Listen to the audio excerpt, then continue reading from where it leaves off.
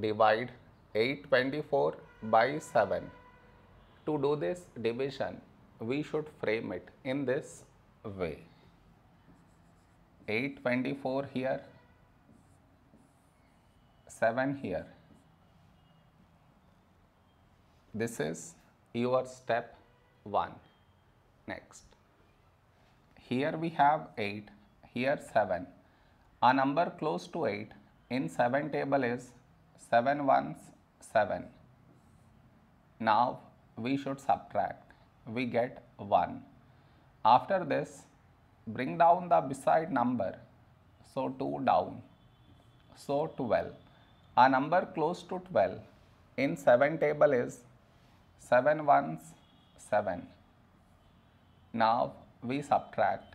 We get 5. After this, bring down the beside number. So 4 down.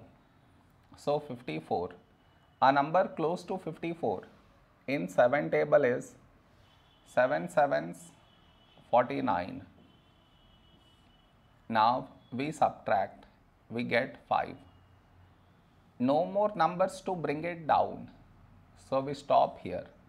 This is our remainder. This is our quotient.